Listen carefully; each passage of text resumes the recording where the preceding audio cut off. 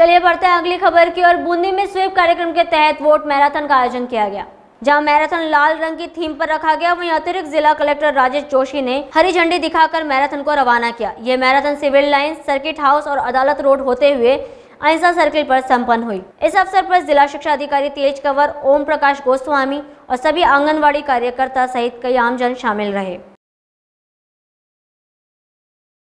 Subscribe करें।